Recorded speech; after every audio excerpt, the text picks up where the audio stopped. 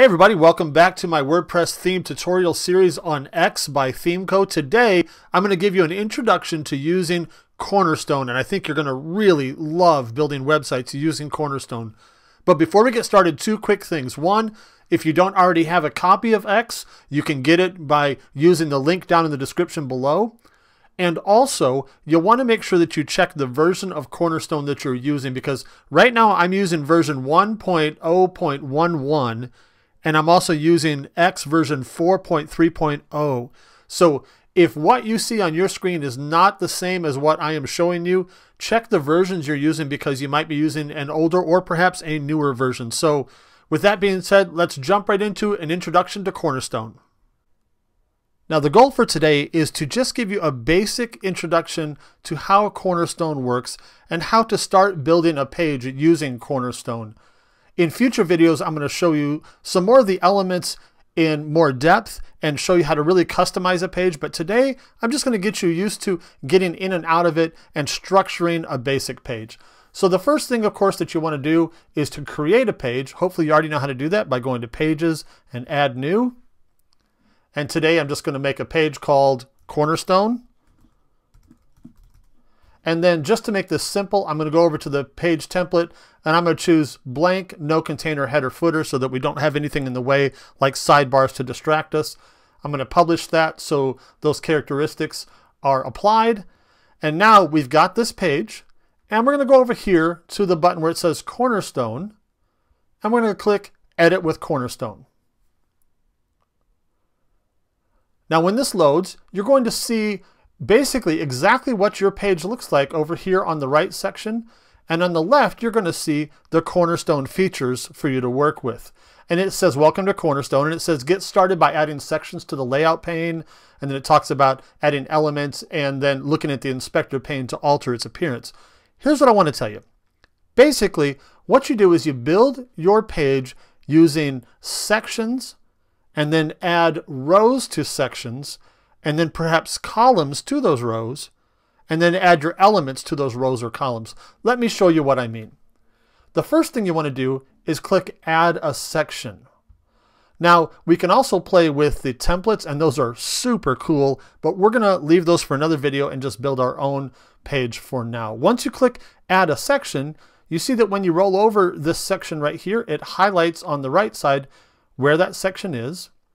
And then inside that section, is a default column that it gives you right here. Now, if you'd like to add more than one section, you can click Add a Section again, and it will add a second section down here called Section 2 that's made up also with a default uh, column in it. And you can continue to add sections down the page, and then we can work within those sections to create content. So let's go ahead and put some content into Section 1 right now. And if we click on this area of the section, it gives us some ways to manage what that particular section looks like. For example, we can color the background of that section by clicking the little eyedropper tool here. And then we can click background color and choose any color we want for the background of that section.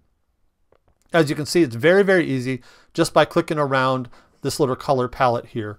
And we'll just make something uh, just light gray just for now. You can pick any color you'd like. And then below, we can also choose margins for this particular section and padding and so forth. And I'll let you play with all of that uh, to see how it all works. And then there's a really powerful feature down here where you can hide this section based on the screen width, which I will get into that in another video as well. But for now, we've got the color here. You could also add an image for the background, which is really great, or even a video. Now let's go on to the next step by maybe choosing two columns for this section instead of one. So what we could do is we could click on Manage Layout, and then right here we've got one column, which you can see here, but maybe we want to do two columns, or perhaps a third and two thirds, or two thirds and one third, and so on. You could even add your own custom layout uh, by just simply typing what you want here. Maybe you want uh, one fifth and four fifths, or whatever you can type it right there. But we're just going to go with something simple that's one half and one half. Now that we've got that set up, we can then start adding elements to these columns here. Let me show you what I mean by that. When we go up here to the little cube icon, you click on that and that uh, refers to the elements section. And here we've got all these different elements that we could add to that column. But we're going to do something just pretty simple today. You can either scroll down and look for it, or we could just type text because I want to add text to this column, and then I'm going to add a picture to this one. When I type text, uh, it sorts it and brings up the two items that we have for text. I'm going to choose this one and just drag it over here and drop it. And once it's there, I've then got this text element that I can work with. And if I click on it, it then gives me this whole panel here to start editing this particular text element. Now I'm going to just drop some filler text in there by using a little plugin I've got here. And I'm going to go to the visual tab and I'm going to then paste my text there. And you can see that it appears right here, just like that. If you'd like to change the color or bold or italicized or anything like that, it's very similar or it's exactly the same as the standard WordPress uh, text editor. So you can play with that there and do whatever you'd like with the text.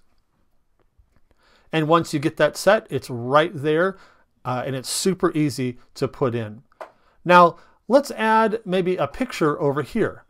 I'm going to then go over to the Elements tab again, and I'm going to type image and I'm going to pull it up and drag it right over here and drop it. And then now I can then click on the image right here and then pulls up another dialog uh, area here for me to customize that particular image. Uh, if I want to put an image in there, I click the plus button right here where it says source and it takes you to your media library where I could choose a picture of myself here or just like normal WordPress uh, features, you can also upload your own right there. I'm going to choose this cheesy picture of myself because it makes it easy and insert into post. And now you see there's a great big picture of my face.